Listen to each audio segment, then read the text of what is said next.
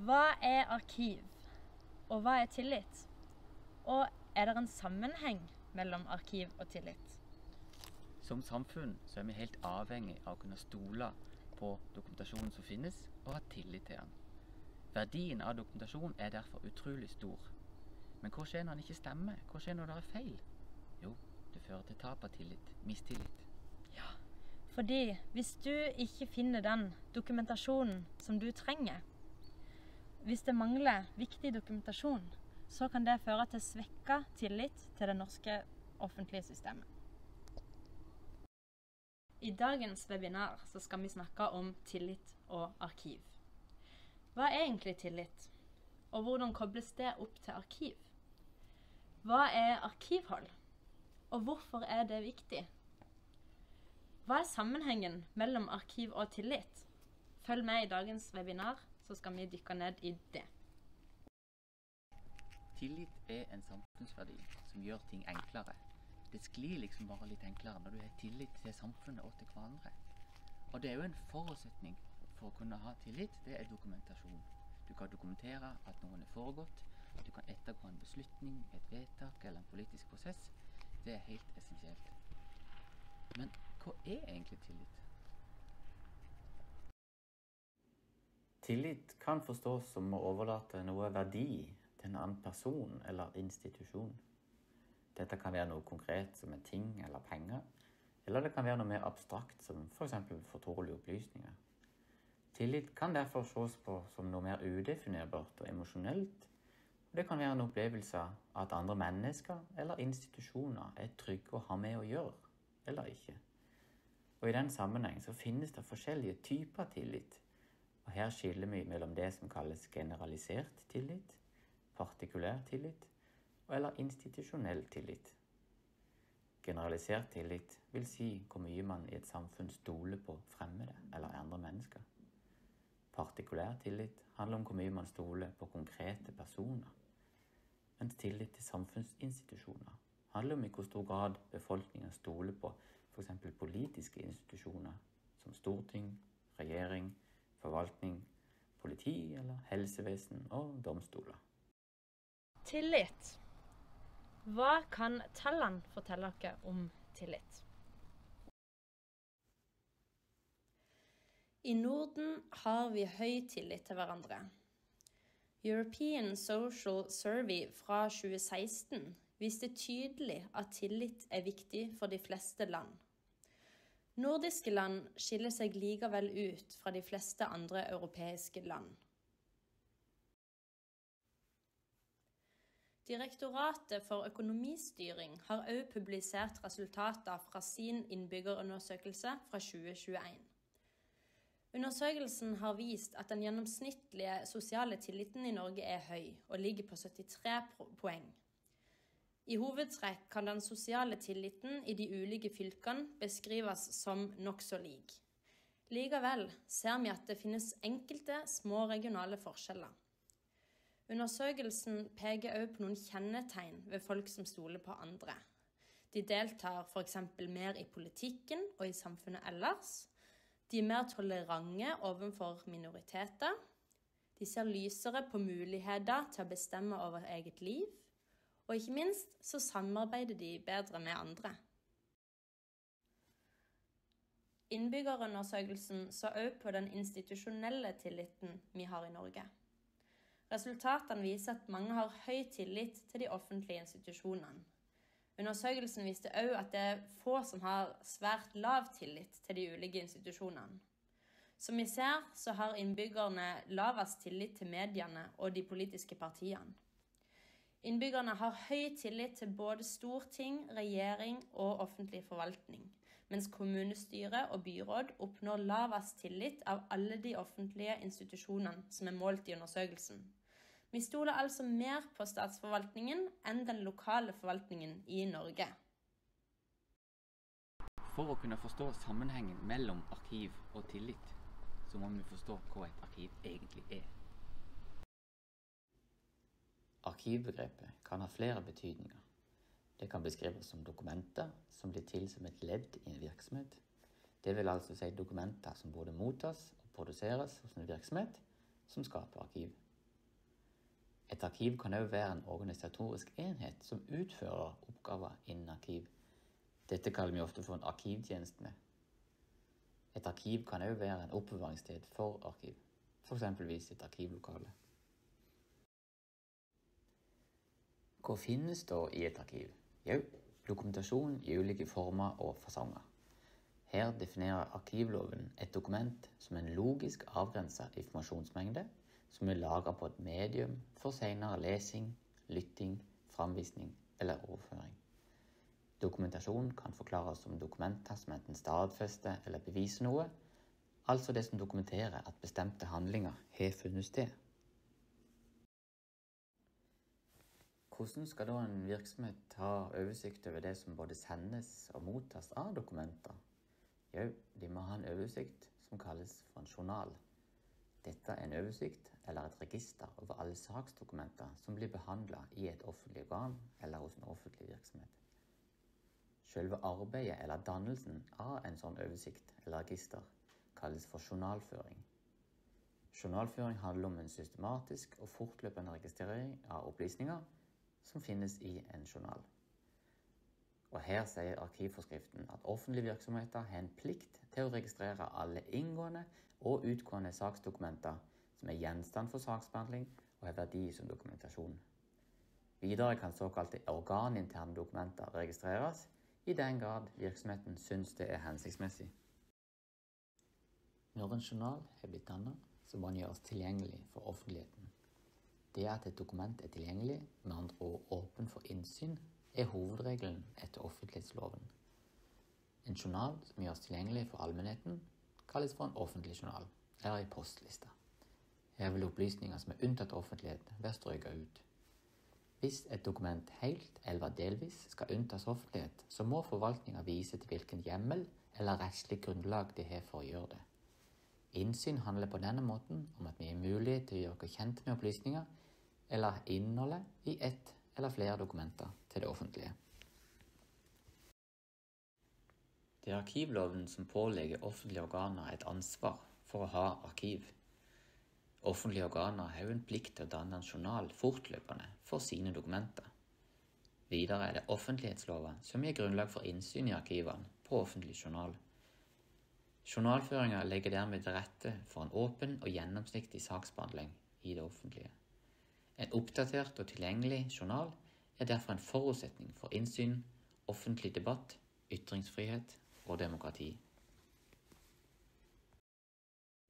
Hvordan skal en offentlig virksomhet ta oversikt over sine egne arkiv? Og hvordan skal vi som innbyggere kunne gjøres kjent med arkivet i f.eks. en egen kommune? Svarene på spørsmål som dette er en arkivplan. En arkivplan er en planleggings- og et styringsredskap innen arkiv. Offentlige organer er i tillegg pålagt å ha en sånn plan. Den skal bl.a. beskrive organisering av arkiv, ansvarsfordeling innen arkiv, ulike arbeidsprosesser og rutiner, i tillegg til å beskrive selve innholdet i arkivet og hvilke planer virksomheten har for å bevare arkivene på lang sikt. Offentlige virksomheter danner som regel arkiv i ulike datasystemer. Og For å gjøre en enkel inndeling så skiller vi mellom såkalte sakarkivsystem og fagsystem. Sakarkivsystem er et datasystem for både registrering, behandling og arkivering av saksdokumenter, mens fagsystem kan beskrives som mer spesialiserte datasystem som behandler saker innen et spesielt fagfelt. Nå har vi sett at offentlige virksomheter skal danne en offentlig journal, og vi har sett på hvilke systemer de jobber i. Men hvordan kan vi vite at det som finnes på en offentlig journal, dekker alt som foregår i forvaltninga? Viser egentlig offentlig journal alt? Det er sakarkivsystemer som i hovedsak skaper dokumenter som skal på en offentlig journal. De øvrige fagsystemene danner i utgangspunktet ingen offentlig journal. Dette er sammenheng med at mange fagsystemer inneholder en del dokumentasjon som er taushetsbelagt. De inneholder altså taushetsbelagte opplysninger. Dette gjør at du og meg ofte ikke har krav på å se denne type dokumenter fra fagsystemer. Samtidig kan en del dokumentasjon fra sånne system være offentlig dokumentasjon. Vi kan altså ha krav på innsyn likevel, f.eks. i oversikter, registre eller i ulike saksdokumenter fra fagsystem, selv om ikke de finnes på en offentlig journal. Dette kan f.eks. være en merknad eller et notat ifra et fagsystem i f.eks. teknisk sektor, en skole eller en helsestasjon. Det sentrale er at fagsystemer og andre arkivsystemer kan inneholde arkivverdige dokumenter som ikke er journalføringspliktige. Poenget er at du og jeg kan ha krav på å se dokumenter fra fagsystem, selv om ikke de finnes på en offentlig journal. Plikten til å føre en journal gjelder nemlig uavhengig av hva slags type arkivsystem dokumentet inngår i. Det kan altså skje i et sakarkivsystem og i et fagsystem. Det sentrale er at opplysninger fra journalen må kunne hentes ut og gjøres tilgjengelig for allmennheten.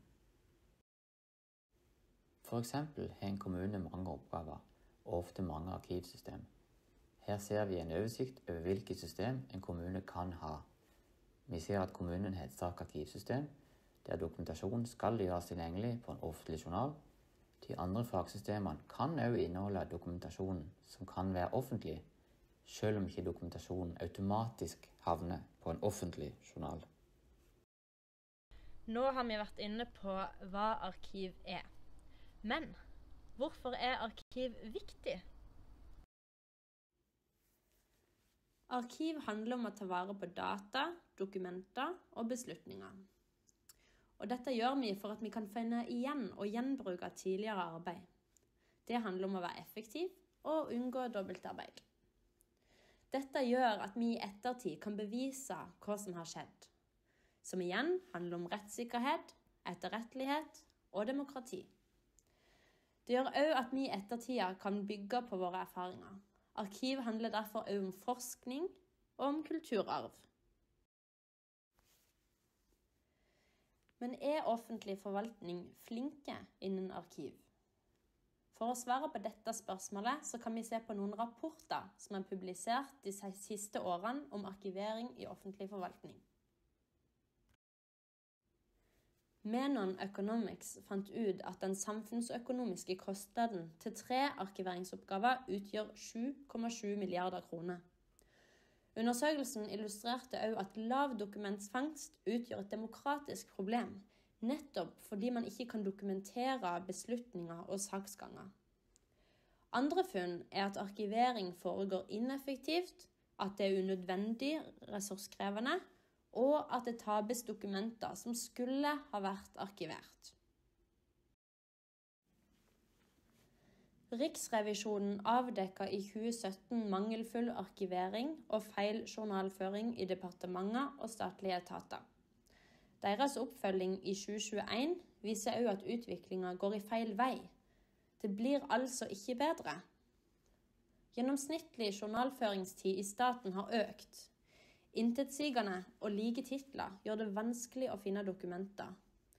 Praksisen med forhåndsunntak av dokumenter har òg økt. Undersøkelsen har vist at manglende arkivering og mangelfull journalføring svekker mulighetene for offentlig debatt, medbestemmelse og demokratisk innsyn og kontroll. Resultatet av mangelfull arkivering og journalføring er tap av tillit.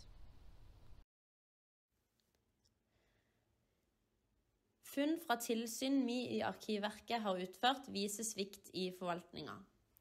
Vi har sett kommuner som har tapt rettssaker pga. manglende dokumentasjon. Vi har sett systemer som har blitt sletta, og som har vært umulig å gjenopprette. I tillegg har vi sett papirarkiver som har blitt ødelagt av vann, fukt og mugg i dårlige arkivlokaler. Vi har sett papirarkiver som har blitt brent opp, makulert og kasta. Prosjekter og beslutninger har ikke blitt dokumentert i egne saks- og arkivsystem. Og I tillegg så har vi sett offentlige dokumenter som ikke har blitt gjort tilgjengelig på offentlig journal. Tillit er sårbart, og det påvirker både deg og meg når det offentlige ikke gjør jobben sin. Det forutsetter at du har innsyn, at det er åpenhet, og at det offentlige dokumenterer det du gjør, for at vi skal kunne kontrollere at de gjør jobben sin. Dessverre ser vi at Ofte så gjør ikke det offentlige jobben sin. Og historien om manglende dokumentasjon og dårlige arkiver, det er mange. Dette vil vi se litt på nå. Vi har nylig sett at Solberg-regjeringa makulerte dokumenter om aksjehandel. Statsministerens kontor holdt òg e-poster med Sindre Finnes borte fra den offentlige journalen.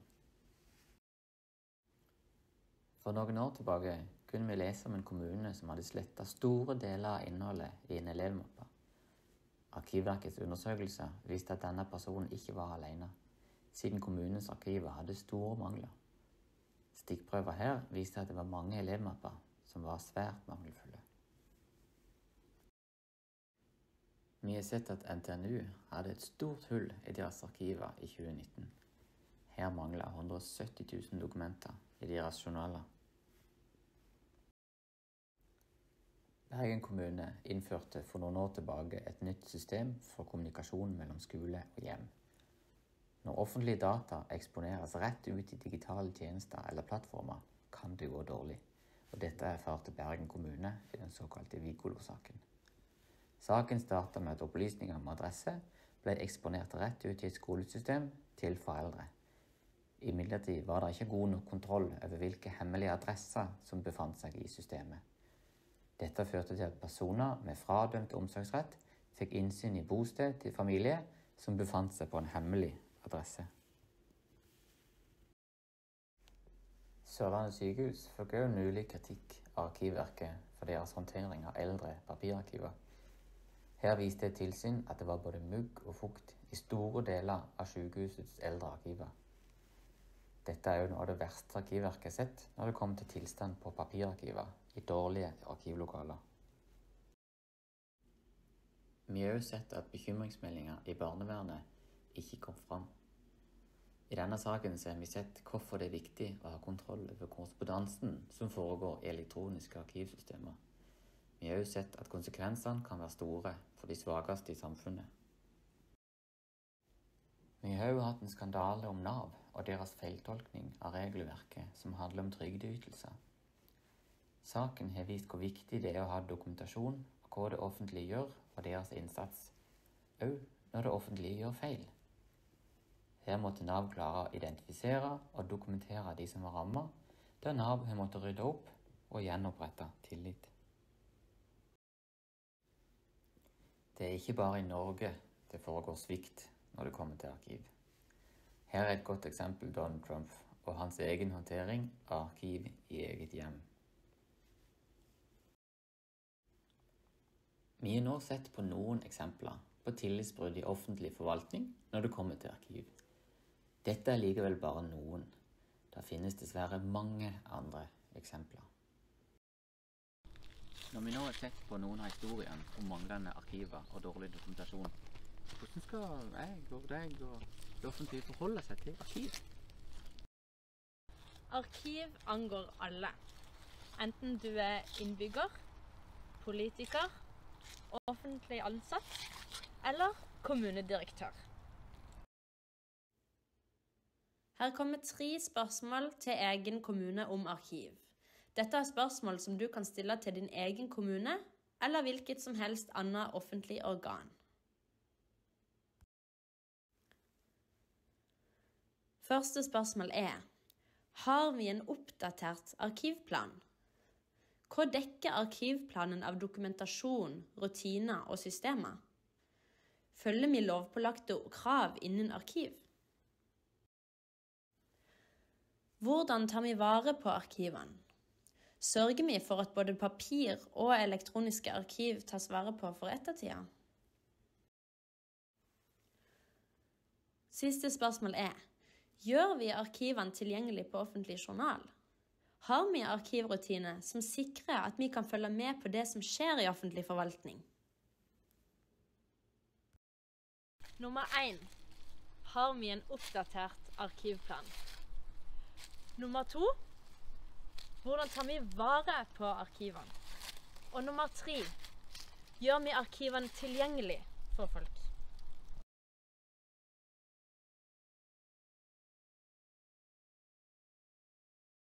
Men er det egentlig en sammenheng mellom arkiv og tillit?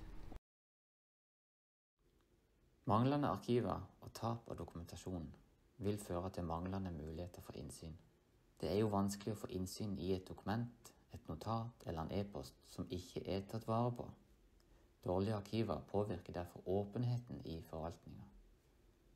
Manglende arkiver som det ikke er mulig å få innsyn i, vil øve med å svekke grunnlaget for ytringsfrihet. Det er jo vanskelig å ytre seg i en offentlig debatt, en sak eller politisk prosess hvis det ikke finnes dokumentasjon av det fra det offentlige. Arkiver inneholder nemlig dokumentasjon som ofte inneholder rettigheter eller plikter til den enkelte. Manglende eller mangelfulle arkiver vil derfor være med og påvirke vår rettssikkerhet. På lang sikt vil det òg kunne påvirke demokratiet sånn som vi kjenner det i dag. Resultatet av manglende eller dårlige arkiver er derfor tap tillit, med andre ord mistillit til offentlig forvaltning.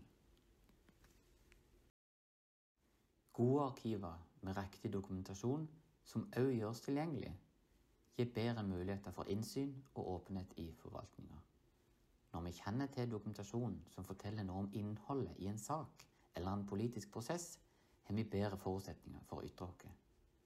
Gode arkiver med riktig dokumentasjon danner også grunnlaget for rettssikkerhet og et velfungerende demokrati. På denne måten er det en positiv sammenheng mellom gode arkiver og vår tillit til forvaltninga. Mangel på arkiv og tap av dokumentasjon senker tilliten til offentlig forvaltning. Gode arkiver øker tilliten. Hvordan kan vi jobbe for å fortsatt ha en åpen offentlig forvaltning som fortjener vår høye tillit?